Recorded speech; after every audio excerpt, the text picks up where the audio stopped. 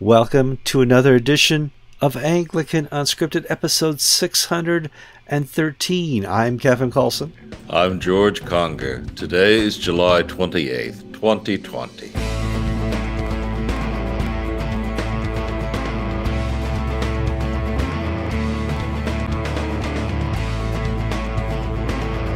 All right, before I tell you where I'm recording from, we're going to do a quick introduction to the program.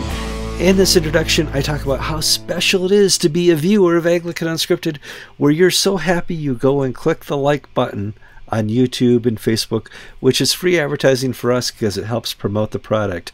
Also, if you're not subscribed yet, go to the YouTube channel, click on the red rectangle, and click subscribe now. A bell will pop up. Click the bell. You'll be instantly notified every time I post a new episode. Also, this show continues in the comments. We read every comment. I personally like each comment, even the ones that criticize my, criticize my COVID hair. That's okay. It's probably my mom doing that. That's right. And so please continue the comments. We appreciate that very much. Okay, where's Kevin? We are in Palisade, Colorado which is right outside Grand Junction, which is before you get to Denver if you're going east. Where is that? Well, for those people who don't know, we're about we're about a mile high, and next this weekend we're going to drive it to the Rocky Mountains, which is about eight thousand or eleven thousand feet high. So we're half as high as we're going to be in this RV this weekend. Um, there's not a lot of oxygen up here either, George. Oh my! Well, I hope you have a AAA card for when your engine yes, blows up or the transmission fails. One of the first things they tell you when you buy an RV is get the Good Sam insurance, and so we got this super duper tow package that hopefully will tow us up the hill. Uh, now, people, Kevin, you must be awful rich to just go out and buy yourself an RV. No, we bought used. We bought really used. We bought a project, and that's why I become an RV mechanic, George. Um, you told me you were working in your garage this weekend. Yes, uh, I spent Sunday afternoon deep prayer and meditation and sorting screwdrivers. Uh, I have, uh, Kevin has seen my garage. There's an old car in there, boxes of books, as well as dozens of Heinz pickle jars filled with screws and nuts and bolts and drawers and boxes of screwdrivers and tools. And I spent a lovely afternoon separating flathead from Phillips head, from Torx head to hex head screwdrivers. And I think I'll open my own Ace hardware store because I have enough to stock a hardware store. Well, actually, sorting screwdrivers is a manly thing to do. I remember in 1995 when we first bought our house up in Thomaston, uh, I went to Home Depot and bought the, the, the DeWalt Deluxe screwdriver set. And I put them all on my little tool bench and I, I hung them up tallest to shortest. And it worked. That was a great system until we had three kids. Dad, can I borrow a screwdriver? Oh, sure. Absolutely. Go down to the tool bench, grab whatever you need. Just be sure to put it back.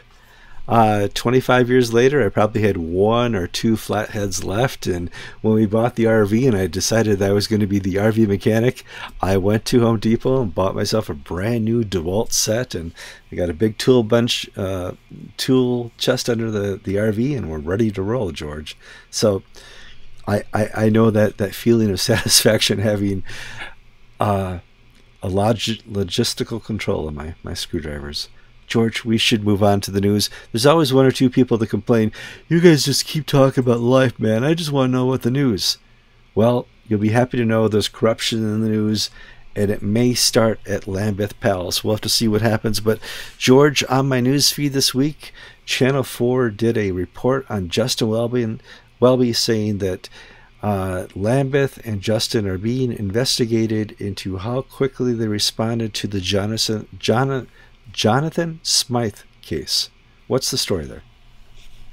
Well, Smyth was an abuser who operated. It was it was a barrister, uh, one of the leaders of the a lay leader of the English evangelical conservative evangelical movement, and he was involved with Iwerne camps, which were the elite of the uh, English uh, boys' world, were invited to attend these summer camps to be uh, Christianized uh, Smyth would take some of the boys and then beat them and engage in uh, basically homoerotic sadism. And this was discovered in the early 80s, and Smyth was basically advised to leave the country. And Justin Welby was a camper, then a counselor at these camps. And later, when he was in positions of authority, it's alleged in the Church of England, it's alleged that he was told about this personally and that he should have known about that as a camper because Smyth was beating some of his contemporaries. Boys talk to each other, and rumors get around that old so and so is a pervert. Watch out for him. Well, on this show, we have uh, spoken in past years about victims of Smyth, victims of Jonathan Fletcher, and other people, uh, victims of, of other abusers who have gone to Justin Welby and to Lambeth Palace, shared and the Archbishop of York, and the Archbishop of York, John Sentamu, and now the new one, Stephen Cottrell, hmm. shared these problems, and nothing's really ever happened. Well, Channel 4 reported and we don't have the details the report, that a safeguarding investigation has been launched into Justin Welby's handling of the Smyth cases. Now, the Church of England Media Center released on the 27th a very curiously worded statement saying it is a matter of public record that in 2013 Lambeth Palace was informed about Smyth. And that went into all this sort of waffling that Lambeth Palace, of course, informed the relevant diocese to make sure that all the proper steps were taken. But the complaint is not against Lambeth Palace, it's against Justin Welby. So either we have some sloppy copy editing from the media center or we have some misdirection. Now, why this is an issue is that um, we need to contrast the treatment of some bishops against other bishops. We have the famous George Bell case, where the saintly Bishop of Chichester, one of the greatest English churchmen of the 20th century, was rubbished by uh, Martin Warner and Justin Welby. Warner's the current Bishop of Chichester, and Justin mm-hmm. Welby uh, for being a uh, pervert and an abuser of children. And None of this was true. And in fact, several of the complaints made were physically impossible. In other words, he was accused of molesting people five or six years after he died. Uh, that sort of nonsensical stuff. And Welby uh, went out of his way to blacken the reputation of George Bell. Now, there was a pushback in that case. And the most recent, and you know, the George Bell Cafe at Chichester Cathedral was renamed something else well, quietly, if you look on the website, the cafe has been named back into George Bell's name. So there's a little pushback there. Then we have the Bishop of Lincoln, who is a, a liberal, squish, not particularly notice, notive. His head doesn't get far above the parapet. You don't hear much about him. He was stood down a year ago for allegedly not being vigorous enough in the investigation of abuse and we still have not had a resolution of his case. And then we have George Carey, the Archbishop of Canterbury, who has been stood down, effectively laicized, meaning he cannot serve in a priestly or episcopal capacity, in, where he's living now, Diocese of Oxford. He lives in Berkshire. Um, because from what we're able to tell, Carey himself doesn't know what the charge is. But from what we're able to tell, it has to do with Smyth. And Carey's only link to Smyth is that Smyth was a part time student at the Theological College where Carey was principal in the early 80s. Now, we've had two recent. Last month, Stephen Cottrell, when he was Bishop of Reading, was informed of domestic abuse and evidently fumbled the ball, did nothing, passed it up the chain, passed it out, put it in somebody else's inbox and basically didn't do what he was supposed to do. And he got away with saying, Oh, I'm deeply sorry. And now that's done with. Now, Justin Welby is the victims of Smyth who have talked, spoken to Welby have finally brought a safeguarding complaint. Or let me put it this way: we now are aware that they have brought a safeguarding complaint. That's much better, yes. Because we certainly have been talking about it for two, three years now. Yeah. And the Church of England is going to investigate. So this may be a, a version of the Me Too movement, uh, coming back to bite its uh, you know analogy to the Me Too movement of the people uh, complaining about uh, wanting to cancel people, they themselves get canceled. I mean, if this happened, I mean, if it turns out that Justin Welby had more knowledge than he's let on to and didn't do what he's supposed to do after he's gone after the Archbishop of Canterbury um, and, and others, I think that it's going to be imprudent for him to step down. I mean, this if it goes that high, I hope it doesn't. But uh, um, we don't need a fox in charge of the hen house. Uh, yeah, in other words, from the stories that we have heard, which we have not corroborated, they're just merely anecdotal, and but we've been hearing for a while now. Is that Welby is guilty of the uh, abuse? Not like Bell. Welby is not being accused of being an abuser. No, which was the the the the, the canard against Bell, but of being like George Carey, of not doing a proper, thorough job, not doing the paperwork. And in George Carey's case, the attitude and the worldviews of abuse 30 years ago were very different than they are today. I hate, hate to use that defense because it's not a good one, but it didn't have the priority. It certainly has the priority today. And part of the reason why people were so angry and exercised about Bell's treatment was that Welby was making a scapegoat out of Bell to cover up the church's inaction in other areas. Now it seems, if the if the most nasty rumors are true, that Welby did far worse in this area than uh, Carey is being accused of around Jonathan around Smyth. So this week, I'm going to allow George to talk about Indian corruption. We don't talk about it often because it could be a six-hour topic every show. Um, but before that, I want to step back and talk about corruption as a whole because every country, every society, every tribe, every nation has its own corruption. Uh, right now, we just closed down the Chinese consulate in Houston.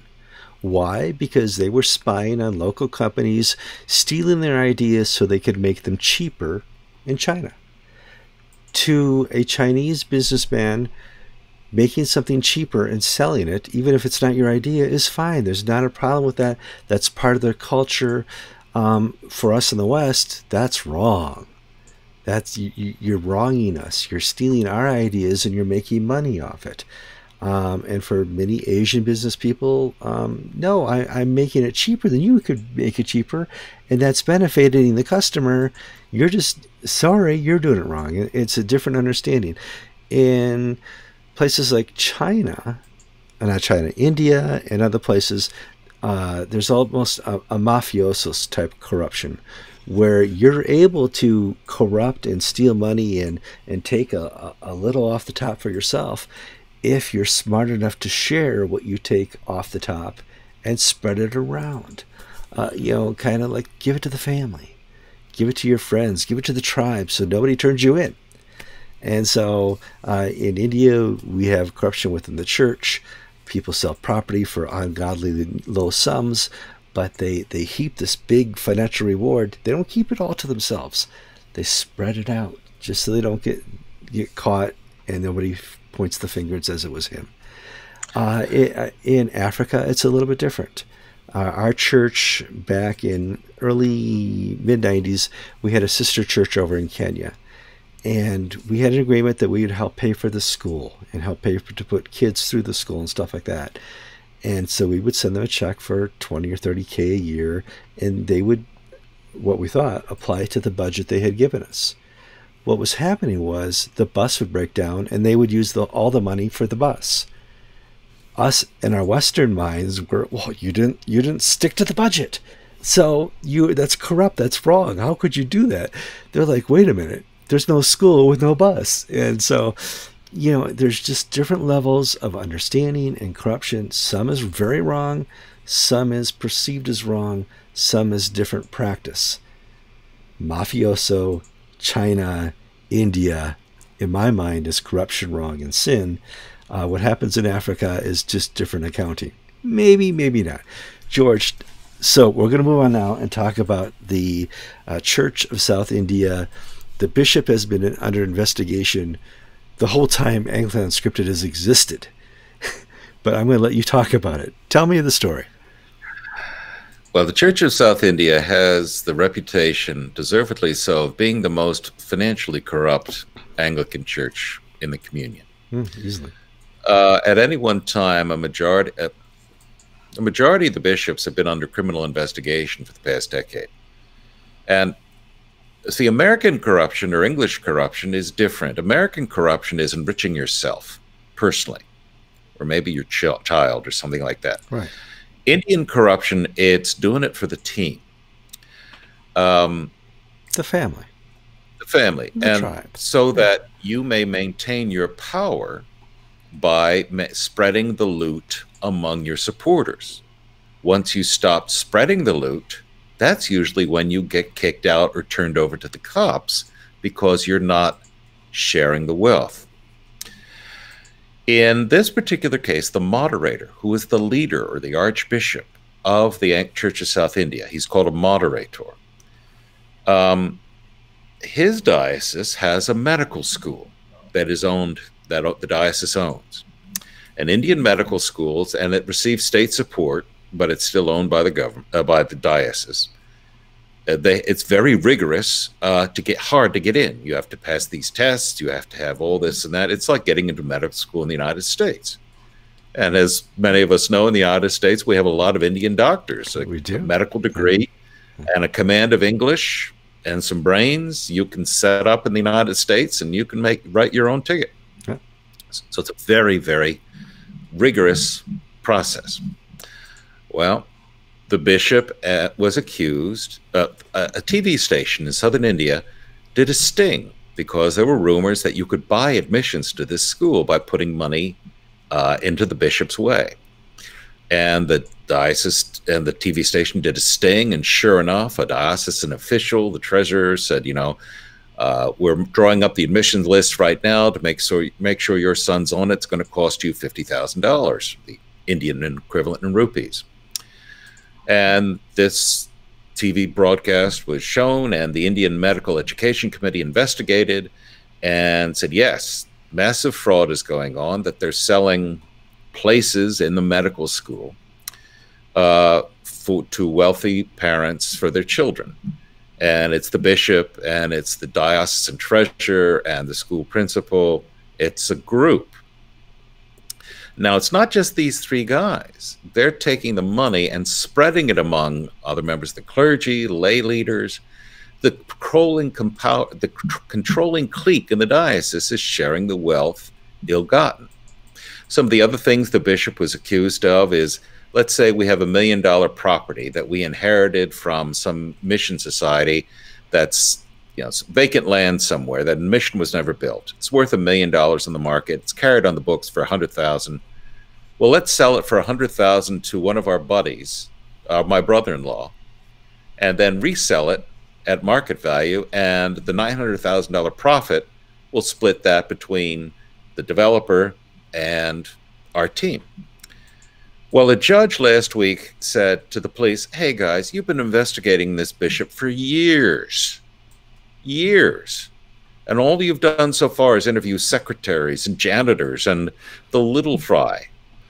You know, talk to, investigate the people who actually, you know, it, it's like, you know, the police uh, just picking up the, the corner pusher and not going after the kingpins Absolutely. in the penthouse. Sure. Yeah.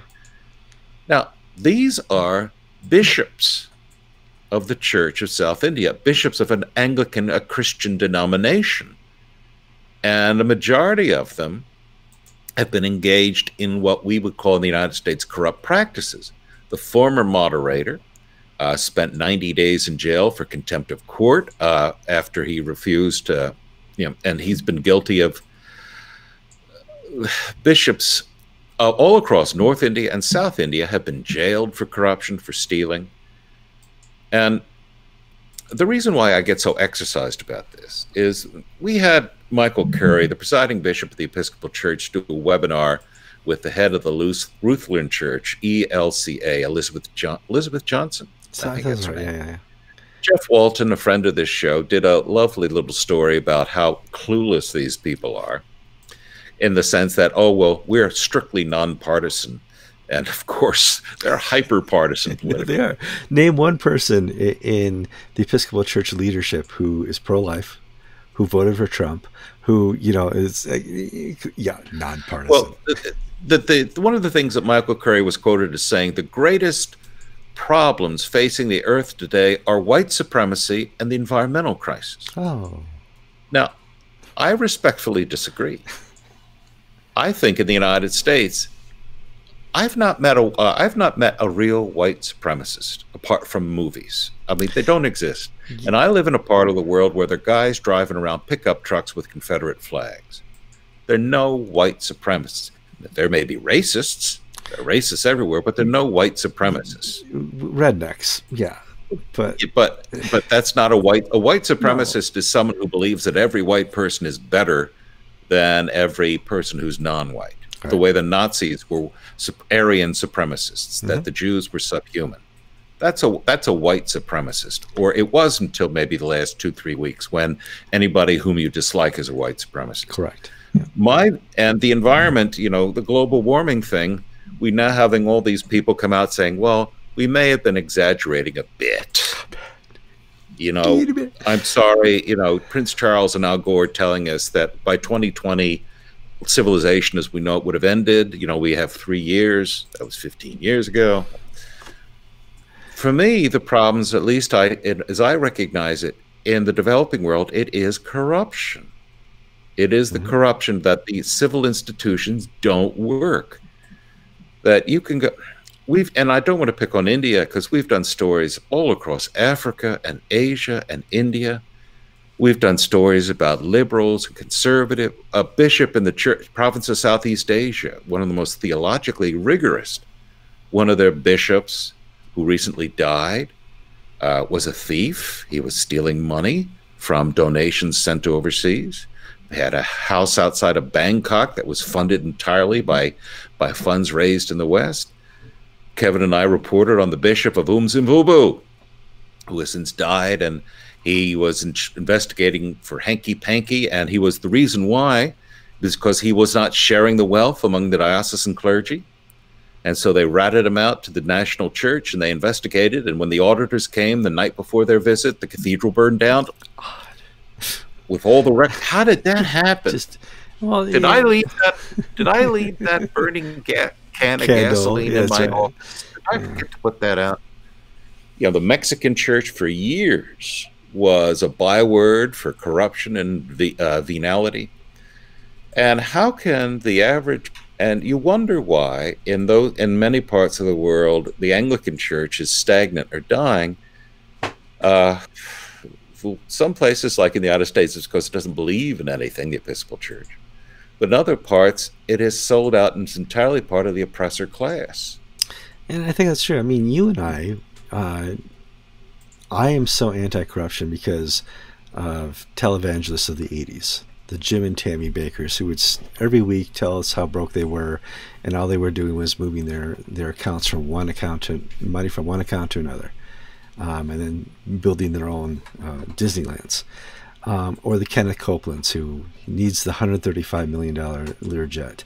Uh, I take corruption very seriously within the church, and I don't mind society doing it. Go ahead. The church is here to be the solution to society, not to be a participant in society. And that's why we keep talking about what we keep talking about. Yeah. And, and but there are many forms of corruption. There's the corruption that we have the Archbishop of Hong Kong. Mm who uh, is the uh, head of the Anglican Consultative Council, by the way, who backs the Chinese uh, Peking government in its crackdown on democracy and is fully in bed with the with the same regime that is engaged in genocide. And I don't toss that word out lightly against the Uyghur Muslims of uh, uh, Xinjiang in, in the Western China, who is leading the charge to destroy Christianity across China. This is an archbishop who says, trust this government. And if you're to be good Chinese, you have to, to be a good Chinese, be a good Christian, you have to be a good Chinese citizen and support the Communist Party. That's a form, that's a form of moral corruption. Um, the archbishop is preserving the status quo the wealth of the Hong Kong church, I believe, by selling out uh, its moral credibility. And you wonder why institutional Christianity has taken such a hard hit across the world. Yet at the same time, the faith is growing in leaps and bounds. But it's not growing because of people, members of the trade union. It's going because, I believe, of the movement of the Spirit through men and ordinary men and women. Hmm. Indeed. George, we've hit 24 minutes. I know we had a story or two. We'll talk about that next week. Uh, I don't know the schedule. Um, it's up to the internet. It's up to how much news we have. We've only been doing like one episode a week because it's been kind of slow news. It's just been COVID news over and over and over again. If you want to keep up with the latest updates, go to anglican.ink where George posts stories several times a week about what's happening around the Christian world. Until then, I'm Kevin Kallsen. I'm George Conger, and you've been watching episode 613 of Anglican Unscripted.